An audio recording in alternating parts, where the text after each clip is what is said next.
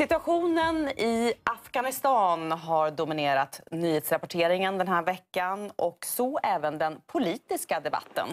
Ja, för knappt hade talibanerna intagit Kabul innan frågan här hemma väcktes kring hur Sverige och EU ska agera om en stor mängd människor nu försöker fly från Afghanistan. Elisabeth Marmorstein, politikkommentator. Men hur har det låtit här i Sverige den här veckan? Ja, men som det brukar i migrationsfrågan numera, vilket förstås är helt andra tongångar än 2015. Alltså från höger eh, betonas att Sverige kan inte ta emot fler och att det är andra EU-länder som nu måste ta sitt ansvar.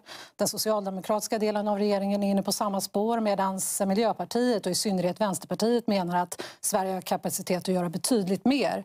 Alltså välkända argument från samtliga egentligen. Mm. Och man har ju stoppat stoppat utvisningarna till Afghanistan för tillfället. Hur kommer den här frågan utvecklas tror du?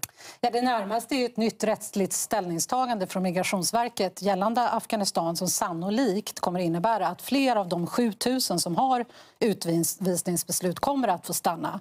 Det innebär inte att de automatiskt får göra det. Alltså de måste söka på nytt och varje ansökan prövas individuellt. Men att fler kommer bedömas ha skyddsskäl är ju ganska givet. Men det är ju inte frågan om en amnesti. Alltså det är det ju bara Vänsterpartiet som driver i dagsläget. Mm. mm. I en intervju med, eh, i Dagens Nyheter i veckan så sa Stefan Löfven att eh, flyktingvågen vi såg 2015 inte ska upprepas. Eh, hur stor huvudvärk är migrationsfrågan för regeringen? Ja, men det beror ju förstås på hur situationen utvecklas. I dagsläget så är det enligt Migrationsverket väldigt lite som talar för en stor påverkan på Sverige. Och det beror ju på att vi har ett helt annat läge nu jämfört med 2015. Alltså då välkomnade flera länder i Europa de syriska flyktingarna. Nu säger EUs ledare att den situationen absolut inte får upprepas. Då sa, som ni minns, Stefan Löfven, mitt i Europa bygger inte murar. Nu förlitar man sig på de här murarna och på stöd och uppgörelser till länder länderna i närområdet. Så förutsättningarna att ta sig till Sverige är ju helt andra idag än vad de var då. Mm. Även tongångarna är ju som sagt helt, eh, helt andra. Hur sugna är oppositionen på den här debatten? Då? Ja, men de har varit väldigt sugna på debatten kring tolkarna och de lokalanställda där de anklagar oppositionen till höger anklagar regeringen för att ha varit för saktfärdig. Men det gäller migrationspolitiken i stort så är ju positionerna välkända. Och här kommer ju oppositionen till höger gå till val på att riva upp den migrationslagstiftning som började gälla nu i juli.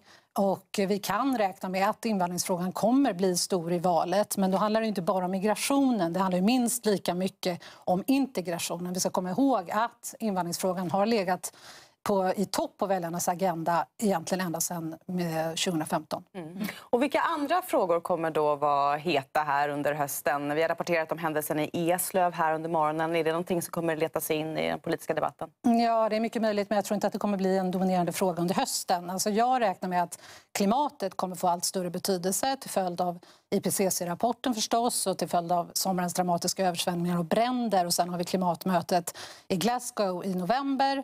Klimatfrågan blir också allt viktigare för väljarna. Sen förstås, gängkriminaliteten kommer fortsatt vara en dominerande fråga som har fått nytt bränsle av sommarens många skjutningar. Och det är också den fråga som är besvärligast för regeringen. Så den är tacksam för oppositionen till höger att maximera. Och så har vi förstås pandemin och inte minst de, de, eh, den ekonomiska politiken och arbetsmarknadspolitiken i pandemins eh, kölvatten. Mm.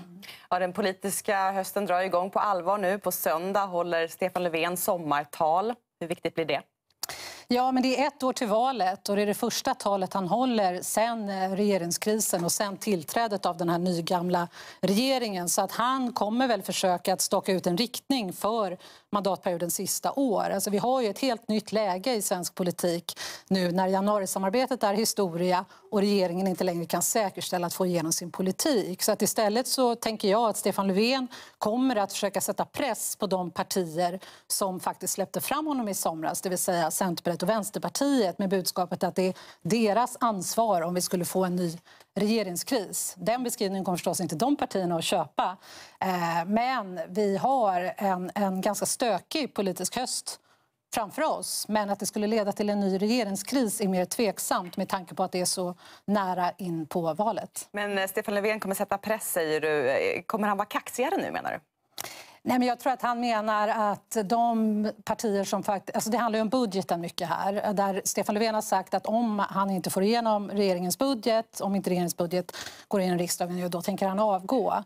Och här har ju nu i sommar Vänsterpartiet gjort det lite lättare för regeringen där man, har, där man öppet har redovisat sina budget krav. Man kräver alltså inte längre förhandlingar för att frångå praxis och rösta för regeringens budget. Men det innebär ju också att prislappen för, för Vänsterpartiets stöd har, är högre än om man hade suttit vid förhandlingsbordet och kompromissat. Så att utmaningen eh, när det gäller budgeten för Magdalena Andersson det är att lägga en budget som både Centerpartiet och Vänsterpartiet kan stödja i slutvoteringen. Och Det är inte alldeles enkelt med tanke på att de här två partierna står på motsatta sidor i den ekonomiska politiken. Mm. Å andra sidan så har eh, regeringen många miljarder att sätta sprätt på vilket gör det lättare förstås att uppfylla båda de här sidornas önskemål. Mm. Många frågor återstår. Tack, Elisabeth